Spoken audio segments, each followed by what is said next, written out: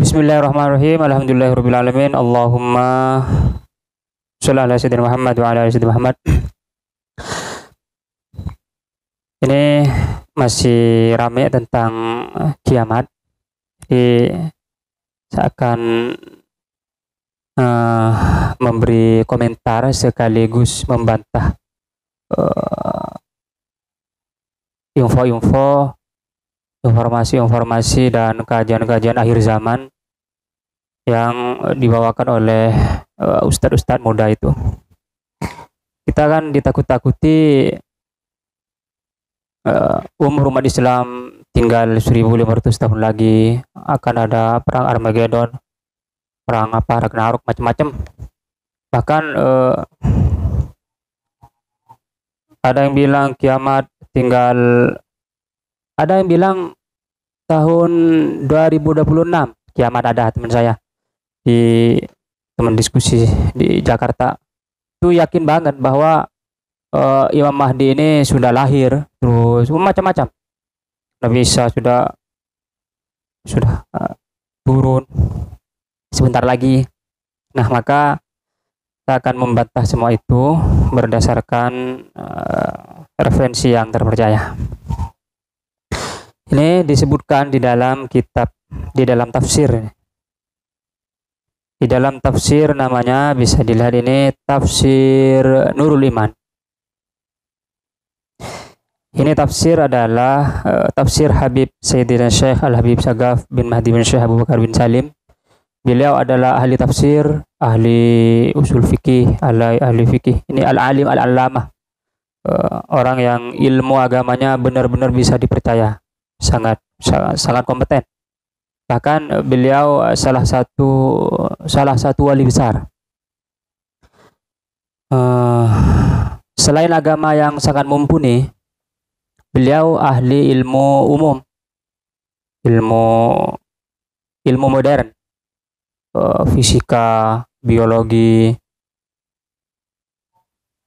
Jadi beliau uh, adalah ulama yang al-jami' mengumpulkan antara ilmu agama dan ilmu umum sekaligus. Artinya ini eh, tidak bisa tidak bisa kita bandingkan dengan ulama-ulama yang eh, hanya ilmu agama saja atau ilmu ilmu umum saja.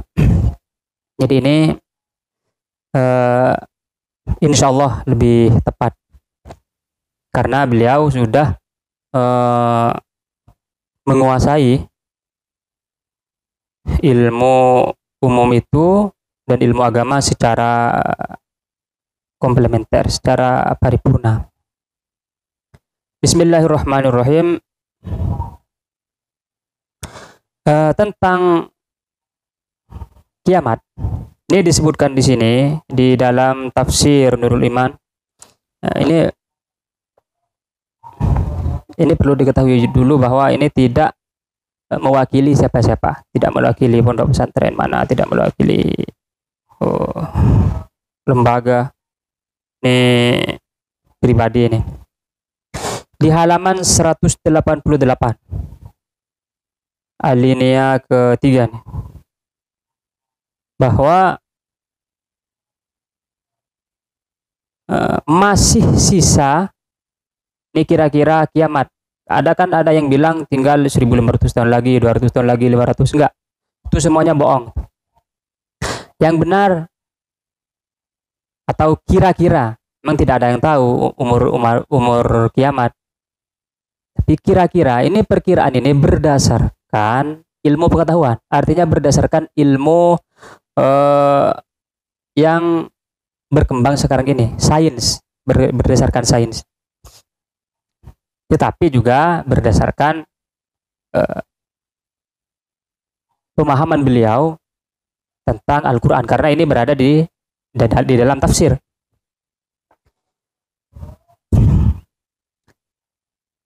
Eh, masih sisa 4 miliar 999 juta 990 ribu tahun lagi. Lebih kurang begitu. Jadi masih lama kiamat itu. Lama sekali. Masih 4 miliar lebih 4 miliar 999 juta 990 ribu tahun. Umur kira-kira umur kiamat. Jadi kalau misalnya ada yang bilang oh, seminggu lagi atau 2000 berapa bukan 2000 ini 4 4 miliar. Itu umur umur kiamat. Kira-kira. Ini prediksi prediksi. Artinya bahwa memang kiamat itu masih sangat lama sekali kalau memang ada yang bilang oh kiamat masih dekat-dekat cuman dekatnya gini nih 4 miliar 900 90 90 ah, 99 juta 990 ribu tahun gitu.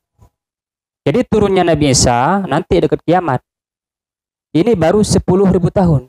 Jadi eh, dari zaman Nabi Adam, zaman Nabi Adam sampai sekarang ini, sampai sekarang ini masih baru kurang lebih 10 ribu tahun. Jadi sisanya masih 4 miliar 999 juta 990 ribu.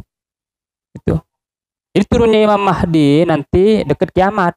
Ini kan baru 10 ribu tahun dari zaman Nabi Adam.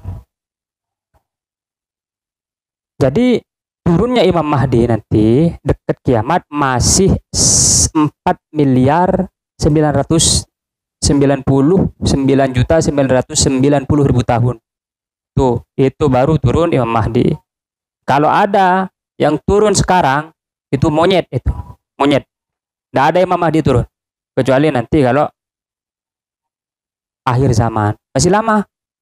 Jadi Muslim itu harus berbicara dengan ilmu pengetahuan. Bukan cocok logi, bukan apa. Dari mana pengetahuan itu? Ini dari dari Al-Qur'an. Tapi tapi kita tidak punya lab. Nah, tidak punya penelitian yang meneliti orang Arab, orang Barat, ya kita harus ikut ilmunya orang Barat dulu. Tidak boleh kita berfokus dengan kebodohan kita dengan tidak adanya penelitian. Jadi kiamat sudah dekat, itu film itu. Ini belum kiamat masih lama, masih oh, sekitar berapa? 4 miliar miliar tahun. Oke, halaman 188. Lalu sekarang kan ada tuh uh, pasukan Taliban katanya. Taliban uh, adalah pasukan Mahdi bohong. Bohong. Jadi kiamat masih lama. Ada yang bilang karena pandemi ini aduh pandemi sudah mau mengakhiri dunia. Bukan masih lama. Kehidupan kita masih akan semakin terus berkembang semakin baik uh, di halaman 203 masih di dalam tafsir yang sama tafsir Nurul Iman. Ini disebutkan juga bahwa uh, Nabi Isa alaihissalam,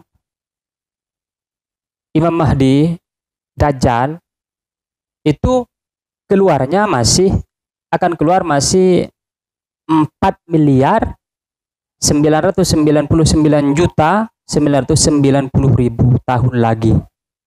Itu masih lama banget. Jadi saya tekankan sekali lagi sama kamu kalau ada Imam Mahdi yang datang sekarang ini, itu Imam Mahdi sayuran itu. orang Jawa, atau orang Jawa Timur.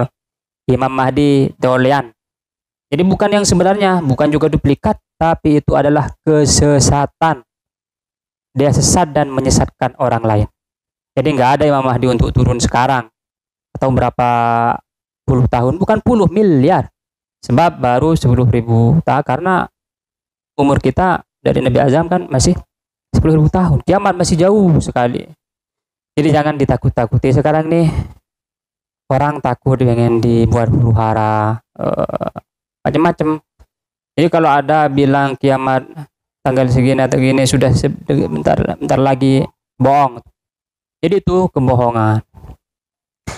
Lalu jadi uh, Imam Mahdi yang itu insya Allah jadi uh, Imam Mahdi yang masih 4 miliar tahun itu akan uh, akan akan ada Imam Mahdi pada awal pada muncul pada masa itu sekitar 4 4 eh, miliar tahun yang akan datang. Jadi Imam Mahdi itu ada tapi belum datang yang datang sekarang ini kalau sekarang ini datang itu Imam Mahdi palsu. Jadi kita nggak menafikan akan ada kiamat, kiamat sudah dekat benar, benar. sejak lahirnya kanjeng Nabi Muhammad SAW sudah akhir zaman. Tapi tidak semua tanda-tanda akhir zaman itu jelek. Buktinya eh, lahirnya kanjeng Nabi Muhammad SAW manusia yang paling sempurna di dunia ini adalah tanda akhir zaman. Jadi uh, untuk sekarang uh, jangan mau ditakut-takuti bahwa kiamat ini sudah dekat, sudah hampir 10 tahun lagi, 100 tahun lagi. Bukan. Bukan puluhan, tapi masih 4 miliar tahun yang akan datang. Gitu. Demikian uh, uh, demikian. Jadi kalau ada hadis hadis apa itu kan ada yang mengutip, ada yang Fathul Bari, ada itu kan uh, uh, penafsiran penafsiran ulama dulu belum sebelum ilmu kema ilmu pengetahuan maju.